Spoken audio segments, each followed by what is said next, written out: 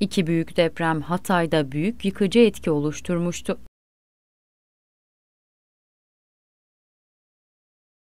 Samandağ ilçesine bağlı Yeni Mahallesi Liman Caddesi'nde bulunan ve Asin Nehri'nin denizle birleştiği noktaya giden yaklaşık 3 kilometrelik yolda derin yarıklar ve çökmeler oluştu.